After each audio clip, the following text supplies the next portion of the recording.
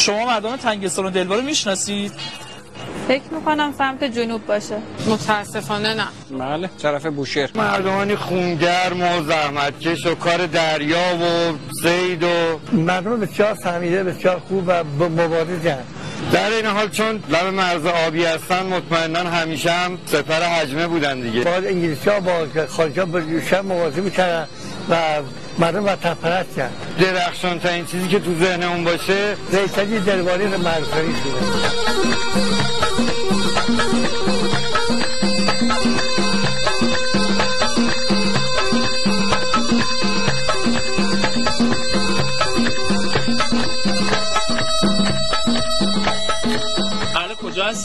دلوار تنگستان. بچه کجایی؟ بوشهر. حال بوشهر اینجا کجاست؟ میدون ریسری دلواری. کل جنوب کشور یه طرف. این مردم تنگستون یه طرف. من خودم بوشهری هم دارم اینو میگم و. یعنی اصلا بحث نجات پرستی وسط نیست. مردم خونگر مبارز. زمانی که انگلیسی حمله کردن به دلوار مردمون دلوار.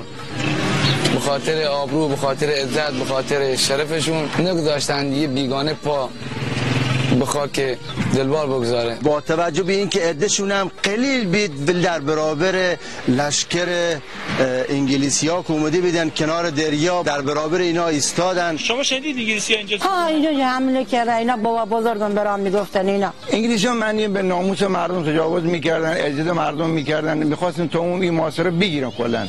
جالبه که بدونین تو اون دوره ای که مردم مبارزه کردن با بیگانه ها دولت مرکزی اونا رو کنار زد و حتی ازشون حمایت هم نکرد. از کیا؟ از همین مردمی که مبارزه کردن با انگلیسی. شما یه اشاره به خیانت به درگیری های داخلی داشتین من یه قضیه ای رو براتون می‌خونم یه خاطره ای که یه ایرانی تعریف کرده. این خاطره رو هم تو مجلس تعریف کرده. در مجلس متن مذاکرات نمایندگان در ادوار مختلف ثبت میشه. بله. یکی از این متن ها مذاکرات مجلس 14 شورای ملیه. یکی از این نمایندگانی که قبلش توی این منطقه منطقه تنگستان و دلوار و فارس و بوشهر مسئولیت داشت نطقی انجام میده و خاطره ای رو تعریف می‌کنه. یه روز کنسول انگلیس اومد و به من گفت ما حکم دادیم تنگستانی ها رو تنبیه و مجازات کنیم. من به عنوان والی فارس گفتم اگه شما انگلیسی ها با مردم تنگستان برخورد کنید پیش مردم بیشتر منفور میشید اگر انگلستان مردم تنگستان رو سرکوب کنه اون وقت کشته شده ها جز شهدا و وطن پرستا محسوب میشن. ولی اگر من که والی فارس هستم اونا رو مجازات کنم اون وقت میگن که خب والی به وظیفش عمل کرده و کار صحیحی انجام داده. و من راضی نیستم که تو سرکوب مردم تنگستان انگلیس بدنام بشه. نظرتون راجع به یه همچین آدمی چیه؟ این که خیلی خیانت بزرگیه. کسی که بخواد وطن خودشو بفروشه خائنهای داخل کسایی که توی مملکت خودشون بر علیه مملکت خودشون عمل می‌کنن برای منافع شخصی. خیلی اهل خیانتن. به راحتی هرچه تمامتر سرزمین خودشون کشور خودشون رو به بیگانه میفروشن. والا حیف کلمه وطن فروشه بهش بگیم. یا کلمه خائن هم برای همچون کسی کمه. اصلا همچون کسی انسان نیست. پر واضحه که این اسمش خیانت دیگه. فرصت طرف به خاطر خودشیدی کار کرده دیگه؟ حمله خودتو به بکشی وقتی که داره کشور دفاع می‌کنه برای اینکه خاکش رو از دست نده. یه خورده اوج پسیه شاید.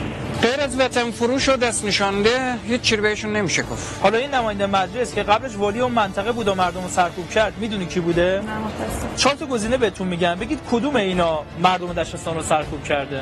این مسئول دولتی رضاخان بوده تیمورتاش بوده دکتر مصدق بوده یا رزمارا بوده؟ هیچ من نفهمیدم نمی‌فهمم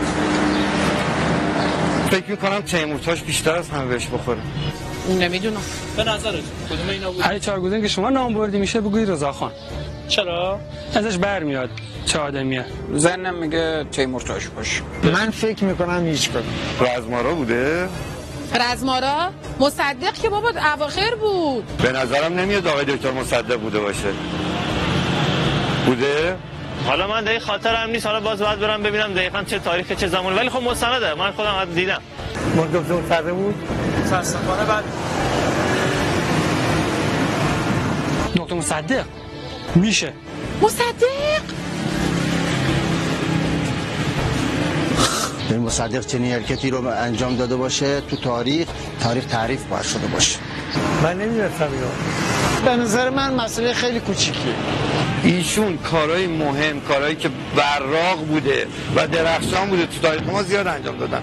ولی این اصلا نه جالبه نه قابل افتخاره نمیشه بهش افتخار کرد. ولی این کار کار خوبی نبوده. این مصدقه با اون فرق داره؟ نه دیگه اون موقع فارس بوده آها یعنی این خیانت کرد مصدق؟ واقعا؟ ما مثل شما شدیم اولین بار که خونه مصرف وای من چقدر اینستا لایکش کردم.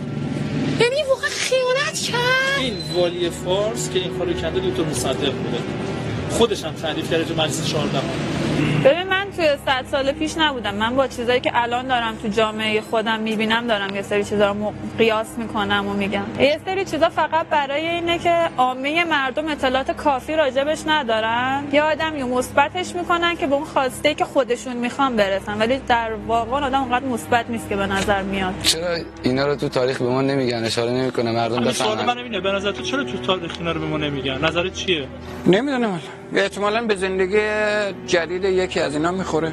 یا به زندگی جدید یک این بلندپایای امروز می‌خوره. نمی‌خوان ملت بیشتر بفهمه. چون مصدق الان برای خیلی بوت و الگوه شاید توی سیاست ما. خیلی خیلی کارها رو می‌کنن و از مصدق استفاده می‌کنن به عنوان یه الگو به عنوان یه پیشکسوت. خب اگه قرار باشه این قسمت های بعد مصدق هم بگن خب خودشون هم زیر سوال میره مسلما. همه اون سلسله همونایی که دارن کار می‌کنن از ما قایم می‌کنن. می‌خوام نفهمن که ما روشن بشیم از این مثال روشن. بشیم با تاریخ باید مردم با این مبارزات و این مشکلات آشنا کنن که مردم بفهمن کی خیانت کرده کی اشتباه کرده کی کار خوبی انجام داده.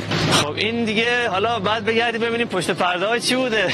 که حالا یه عده احتمالاً دوست ندارن مصدق این چهره از مصدق رو بشه. شاید به مزاقش خوش نمی اومده ضرر خوشم بوده که برای ما نگفتن می‌خواستن مردم رو روشن نکنن. خب مصدق اینجا خیانت کرده. به مردم اینجا به ناموس اینجا خیانت کرده. بعد یه عده دارن گندش می‌کنن که نمی‌دونم فلانی به رفته پرچم ایران رو بالا کشیده توی جهان توی دادگاه بین المللی خب شما بیا اینا رو ببینید اگه خائنه چجور میشه الان تو تهران دارن خیابون به نامش می‌کنن؟